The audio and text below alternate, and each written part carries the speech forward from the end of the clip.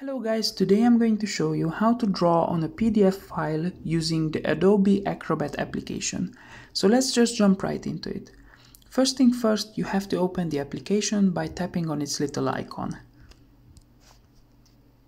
Once you open the application, you can see in the main page your recently opened PDF files.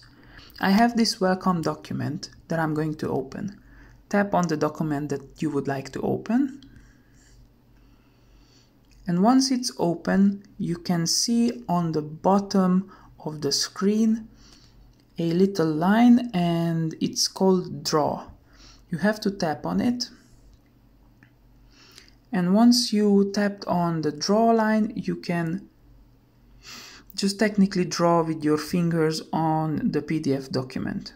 You can also change the thickness of the line by tapping on the bottom of the screen on the little lines there and you can also change the color of the lines as well. So that was all guys, thank you so much for watching this video and please consider subscribing to our YouTube channel. Goodbye!